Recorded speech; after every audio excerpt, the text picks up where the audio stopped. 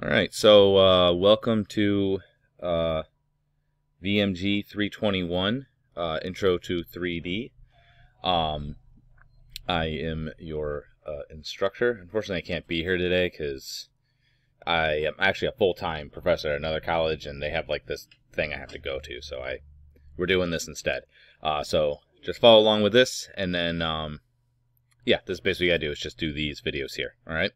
So um, first off, uh, uh, I use a website for my class. It's um, teachmecone.flywheelsites.com. So let me see if I just do Word. We'll do WordPad so you can see it just to make it a little more obvious. Okay. So um, teachmecone.flywheelsites.com. Looks like this. Let me make it bigger so you can see it real big. Okay. Too big. uh, 48? Nope, that's too, too, too big.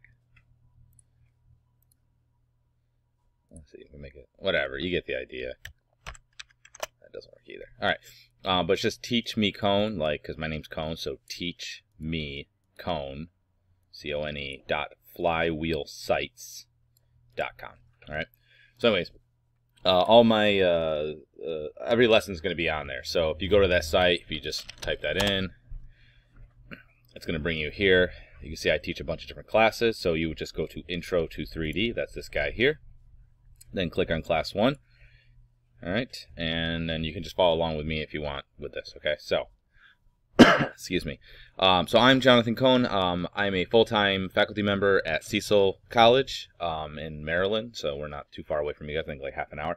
Uh, I also teach adjunct uh, at Wilmington, uh, just uh, intro to 3D, uh, character creation, and um, character rigging uh, this semester anyway. Um, so anyway, I do that, and then I also do some freelance and stuff, such as it were. All right. Um, we're not going to bother doing the whole kumbaya thing here because you're not there anyway. Um, but basically, this is an intro to 3D uh, animation um, course, right? So the idea is just that you're going to learn how to create uh, 3D animation. Uh, everything from modeling, texturing, to rigging and rendering and so on and so forth, okay? Um, this course will be using um, Canvas. Uh, I use the same course for my Cecil class. Why you'll see some of the stuff here says like it, has got Blackboard. You guys obviously will be using um, you will be using uh, Canvas. Um, but on uh, Canvas, you're going to be expected to basically uh, use that. That's a requirement of the course. Um, so uh, you should already know how to do that. But if we just go to WilmU, go to My WilmU, My WilmU, you should be able to log in so on and so forth. Uh, you should already know how to do all this stuff. And we wait for a long time, and then you go to Canvas. I don't know how, I imagine your guys' this thing looks the same, I'm not sure. Log into Canvas. You make everything like 12 clicks now. Alright, and if you go to courses, you'll see that you have an Intro to 3D course. And basically, we will be using uh, this for the course, okay? So the syllabus is here, if you should like to look at the syllabus. You can just click on this and you will download the syllabus. Um, if you want to see, uh, if you go to the modules, each week will basically be posted here. So here's the class one lecture, uh, the assignment, class two, assignment, class three, so on and so forth, uh, all the way down. All right. Um, and the assignments, do I have that visible? I don't. Maybe I should make that visible. Um, basically, you have these four assignments. All right. And I'll discuss that in a second. All right but you will be expected to use it because that's how you're gonna um, that's how you're gonna get your assignments. That's how you're gonna submit them. You can also see the rubrics there. Um, your grades will be posted there, so you can see where those are. I'm also gonna use it for email and also announcements. So sometimes I have to drive pretty far, or actually I always have to drive pretty far. You guys are over an hour from me from my house. I live like near Baltimore, so um, sometimes traffic's bad. So if I'm gonna be a little bit late, I will uh, make an announcement, and then you guys, you know, so just make sure that you're looking at that. Basically for the assignments, there's just going to be these four, okay? Um, and more or less, each one is a step in completion of a uh, of an animated film. So basically, in the span of this 14 weeks or however long it is, you're going to model a character, um, uh, UV the character, uh, texture the character, rig the character, then you'll make an environment, then you'll rig the char- um, animate the character in the environment, you'll light it, you'll render it, and you'll make a short film, something like you know 10 to 15 seconds, just like a one little gag thing. Um, that's basically all we're gonna do. It's just this one short, short film. The idea here is that that way you will get the full spectrum of what like animation production is. It's not gonna look great when you're done, to be honest. You'll see it's, it's a lot more difficult than you probably are expecting. Um, so, um, but it's a stepping stone, and that way you can on your own if you want to like you know really dig in deep into characters or animation or texturing or what have you um, all those will be available to you. But each one of these assignments is part of it. So first you have to model your character you have to texture your character you have to model an environment and then you will animate it and render out the film. So there's just these four films uh, these four assignments. Um, so if you look at the modules you'll notice that in each one of these and this is what we're going to do each week if you just click on like let's say we well click on well, anyway, uh, if I click on this, right, so I'm just going to open it up in a new tab. Um, I don't think it shows up here, but if you click on that, it'll actually open up. It'll open up to the class. This is what we're at. This is the day we're on right now, okay? Um, that will be the lecture. So each one of these, each one of these lectures is just a link to that page, okay? But you'll also notice that also on each one is the assignment. But notice this assignment one here, assignment one here, assignment one here, uh, and assignment one here, okay? So um, I'll give you a little bit longer on that first one. Uh, but basically the idea is that I put I post it each time. It's not actually due on this. It's just so that you realize you should be working on that. Okay. So it won't really be due until week four. Okay. And then um, or after week four. Uh, it'll be due on week five, just before week five. Uh, then it'll be texturing. You can see I only give you two weeks for that, and then there's the environment, that's kind of thing. Okay, so there's only four assignments, even though they're posted on there, just so there's no confusion but that is confusing. Anyway, um, so that's what that is. Um, uh, so obviously we're going to be covering 3D animation. One of the things I want you guys to realize is that more than likely you guys are probably looking for the entertainment aspect of it, right? So, you know, either you're thinking of films, you know, like a Pixar film, where there's like animation production, or you're thinking games, right? You want to make uh, the the assets for your video games visual effects, that sort of thing. That's a very small sliver in the full spectrum. There's a lot of other things that animation is used for. Visualization is like a huge one. So if someone's going to make a building, they'll uh, they'll do architectural visualizations of the building if they're trying to get the contract. Like, hey, this is what it will look like, and they'll do like a flyover and then use CG to like implant their their you know uh, vision of what that building would look like. And it's worth it to them because these are you know multi-million dollar contracts. It's worth it to them to pay you to make this visualization. Medical visualizations are really big uh, both for um, teaching um, uh, medical students uh, and other things. Um, legal i knew a guy that he um, sometimes if there's a, a, lawsuit people will do a visualization of what happened. So i saw this uh, he was a colleague of mine and he actually animated it was like a truck that like accidentally dumps like these uh containers off of it. It looked like a dump truck kind of a thing, and it was the crappiest, dumbest looking animation. Um, but it's you know if that's going to help their case, it's definitely worth it to pay you a couple thousand to make you know this stupid. Oh, the containers fell on my dog, and then you can sue them. So, um, scientific, that's another big one. Products. Uh, I used to work at Fisher Price, so um, one of the things we do there is you do like sizzlers to try and sell whatever the product is. Um, whenever anybody makes a game or a toy or you know uh, you know like uh, or any one of those uh, uh, products you see on TV, right? They have little visualizations of those products um, to help sell them. Okay. Um, there's also, and this is becoming bigger and bigger, are these fringe experimental ones where the stuff up here that we're doing now used to be fringe. Now it's kind of mainstream. But obviously, virtual reality is getting bigger and bigger. I'm sure you guys saw that uh, Valve's going to get into the market now. They they made a, a Half Life game, uh, which looks I think it's a prequel. Looks pretty interesting.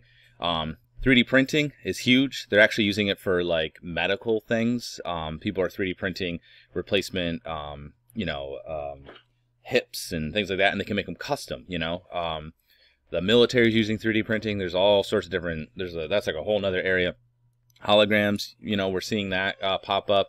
Uh, but there's a lot of different things that are coming out there. Uh, it's one of the reasons why it's important to be um, prepared for you know uh, just to have a general knowledge of everything because that way you'll be prepared to learn new things you know these are newer technologies um, okay so let's talk about 3d film production so the animation production basically can kind of be broken down to these three primary stages right? So you have pre-production production and post-production.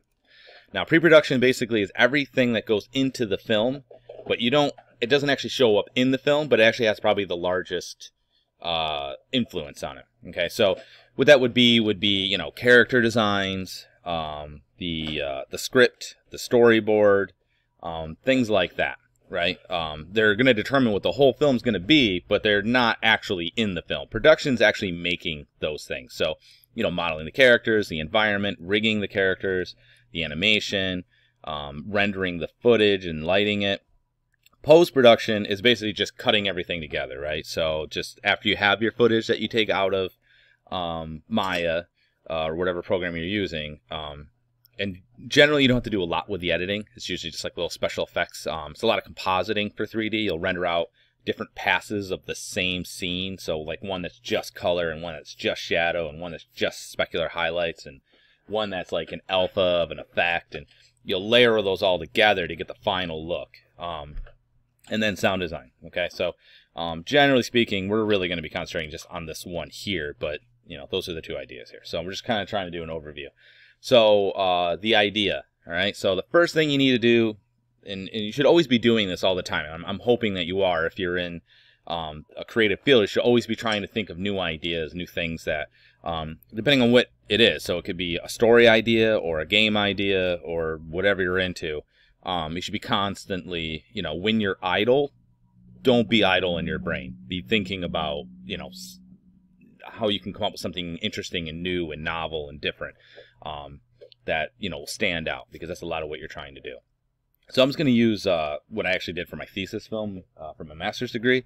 Uh, I did uh, an animated film about my chinchilla, so I'm just going to kind of describe it in regards to that. So um, when I was in college, I had uh, a chinchilla named Chinchy. Very creative name, I know.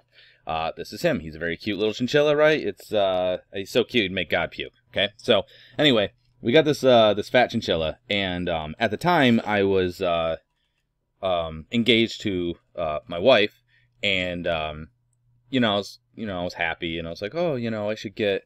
Uh, I, I wanted him to have a friend because he was just by himself. So we were looking for you know girl chinchilla, and we ended up getting this girl chinchilla. And I don't know how good looking, I don't know what good looking chinchilla looks like, but she was kind of plain, and she was also like one and a half times his size.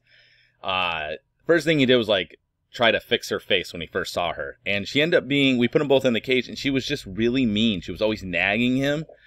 And it occurred to me that he was kind of in a prison. like he was trapped in this thing with her.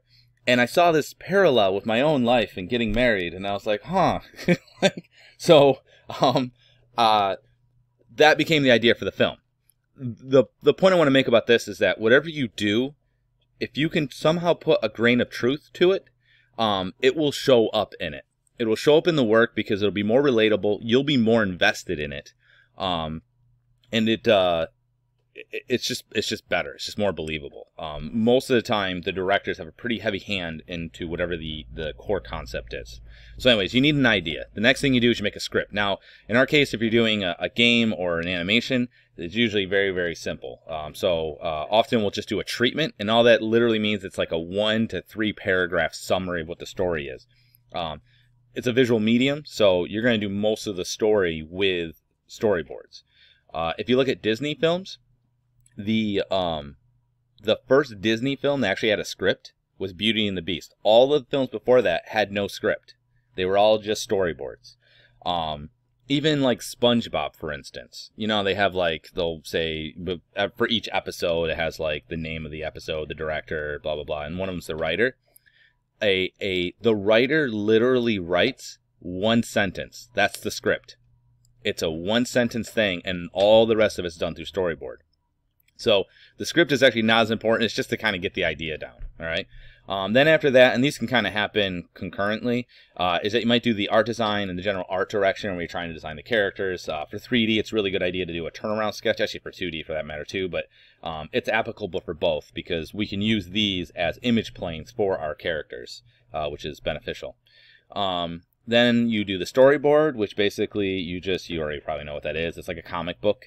Um, you know, it's just a sequential visual guide of what the the the thing is going to be. Now, if your film or whatever it is, if it doesn't work in a storyboard, if you cannot show this to a layperson and they do not understand what's happening, it's not going to work when you actually go into production.